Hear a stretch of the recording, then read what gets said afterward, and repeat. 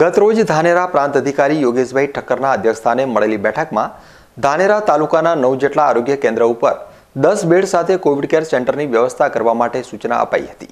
જોકે ધાનેરા તાલુકા આરોગ્ય અધિકારી લક્ષ્મીકાંત સોમાણી સાથે ધાનેરા તાલુકાના મેડિકલ ઓફિસર આ બેઠકમાં હાજર રહ્યા હતા. ધાનેરા તાલુકામાં કુલ નવ આરોગ્ય કેન્દ્ર આવેલા છે. આ તમામ આરોગ્ય કેન્દ્ર ઉપર તમામ સુવિધા સાથે દસ બેડની સુવિધા થાય જેમાં ચા, ઉકાળા સહિત જમવાની વ્યવસ્થા તેમજ ઓછા લક્ષણો ધરાવતા વ્યક્તિની આરોગ્યની તપાસ કરવામાં આવે તેવું આયોજન કરાયું હતું.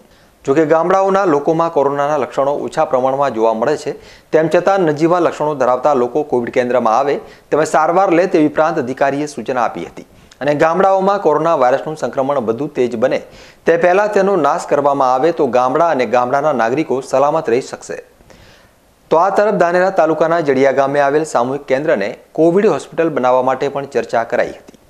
ધાનેરા તાલુકાના પૂર્વ ધારાસભ્ય જૂતાભાઈ પટેલે આ બેઠકમાં જડિયા ગામમાં કોરોના વાયરસના દર્દીઓને સારવાર મળી રહે તે માટે ઝડપી કોવિડ હોસ્પિટલ બને તેવી રજૂઆત કરી હતી.